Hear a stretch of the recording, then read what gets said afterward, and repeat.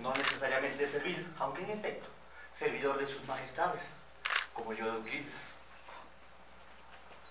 Me trata como un esclavo. Quiere que le lave, que le planche, que le saque los pelos de la nariz. Soy un peón igual de triste que sucumbe bajo los cascos de ese caballo.